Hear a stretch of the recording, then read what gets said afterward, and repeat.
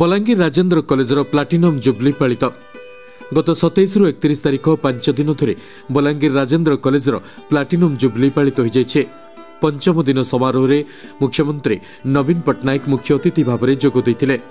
ମହିଳା ଏବଂ ଶିଶୁ ବିକାଶ ମନ୍ତ୍ରୀ ଟୁକୁନି ସାହୁ ମୁଖ୍ୟ ଶାସନ ସଚିବ ଅସିତ ତ୍ରିପାଠୀ ଏବଂ ଓଡ଼ିଶା ରାଜ୍ୟ ପୁଲିସ୍ ଅତିରିକ୍ତ ମହାନିର୍ଦ୍ଦେଶକ ଅରୁଣ ଷଡ଼ଙ୍ଗୀ ସମ୍ବାଦ ଖବରକାଗଜର ସମ୍ପାଦକ ତଥା ବିଧାୟକ ସୌମ୍ୟରଞ୍ଜନ ପଟ୍ଟନାୟକଙ୍କ ସହିତ ବଲାଙ୍ଗୀର ରାଜ ପରିବାରରୁ ଅନଙ୍ଗ ସିଂଦେଓ ମଞ୍ଚରେ ଉପସ୍ଥିତ ଥିଲେ।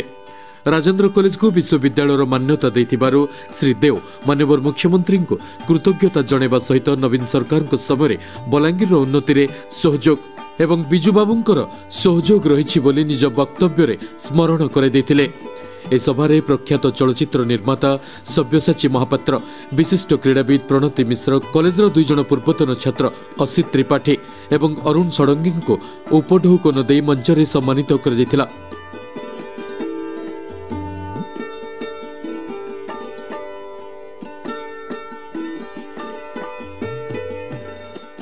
ଏବଂ ଭିତ୍ତିଭୂମିର ବିକାଶ ପାଇଁ ପଚିଶ କୋଟିର ଆର୍ଥିକ ସହାୟତା ଓଡ଼ିଶା ସରକାର ଯୋଗାଇ ଦେବେ ବୋଲି ତାଙ୍କ ବକ୍ତବ୍ୟରେ ମଞ୍ଚରୁ ଘୋଷଣା କରିଥିଲେ।